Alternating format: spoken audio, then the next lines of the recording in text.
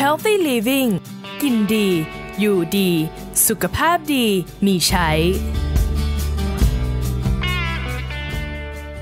สวัสดีชาว Healthy Living ค่ะ มาพบกันในช่วงของ The Signal กันอีกครั้งนะคะ เขียนโดยคุณหมออดุลชัย ซึ่งเราก็จะมาเช็คสัญญาณร่างกายกันค่ะ ว่ามีอะไรที่ผิดปกติ ที่เราควรไปหาคุณหมอหรือเปล่า ถามก่อนเลยนะคะ จมูกของคุณเคยได้กลิ่นแปลกๆกันไหมคะ เรารู้ไหมว่าการได้กลิ่นแปลกๆนั้นอาจเป็นสัญญาณเตือนว่ามีอะไรที่ผิดปกติในร่างกาย เพราะฉะนั้นในช่วงนี้เรามาเช็คกันดีกว่าค่ะว่า การได้กลิ่นที่ผิดปกติเป็นสัญญาณบอกอะไรเราได้บ้างค่ะ มาเริ่มกันที่กลิ่นควันค่ะ ถ้าได้กลิ่นควันหรือกลิ่นเหม็นไหม้โดยที่ไม่ได้จุดธูปเผาหญ้าหรือเพิ่งกลับจากงานศพอันนี้อาจเป็นสัญญาณว่าเราป่วย ไม่สบาย หรือเป็นภูมิแพ้เรื้อรัง เพราะว่าจมูกของเรานั้นสามารถรับรู้กลิ่นผิดปกติได้เมื่อเราป่วยค่ะ แต่ยังไงก็ตามเมื่อเรานั่งอยู่ในบ้านเราได้กลิ่นควันหรือกลิ่นเผาไหม้ก็ตามหาที่มาของกลิ่นนะคะ อย่าคิดไปเองว่าไม่เป็นไรมั่งเราคงป่วย ก็ระวังไฟจะไหม้บ้านเอาค่ะ ต่อมาคือได้กลิ่นเหม็นเน่าๆอยู่เกือบตลอดเวลา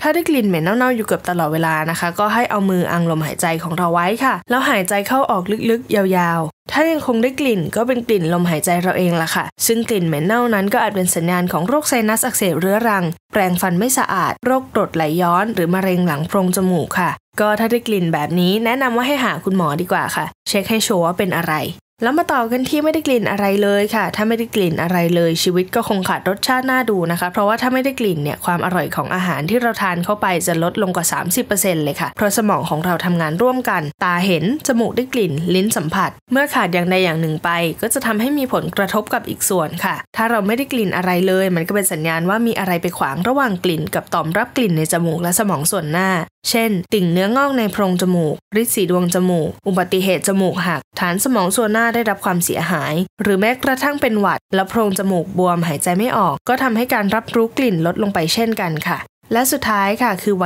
ต่อกลิ่น ถ้าเราได้กลิ่น แต่คนอื่นไม่ได้กลิ่นเนี่ย อันนี้เป็นสัญญาณของภาวะไวต่อกลิ่นค่ะ ซึ่งภาวะนี้มักเกิดจากระดับฮอร์โมนในร่างกายขาดสมดุล กำลังตั้งครรภ์หรือกำลังรับประทานยาแก้ปวดบางชนิดอยู่ค่ะ ก็จบไปแล้วว่าได้กลิ่นผิดปกติ เป็นสัญญาณบอกอะไรเราได้บ้าง ฝากไว้นะคะ ถ้าได้กลิ่นแปลกๆ แล้วไม่ชัวร์แนะนำให้ไปหาคุณหมอแล้วตรวจดูดีกว่าค่ะ ว่ามีอะไรผิดปกติหรือเปล่า ดูแลรักษากันแต่เนิ่นๆย่อมดีกว่าค่ะ ช่วงนี้เวลาของ The Signal ก็หมดลงแล้ว แล้วมาเช็คสัญญาณร่างกายกันใหม่ใน The Signal คลิปหน้าค่ะ สวัสดีค่ะ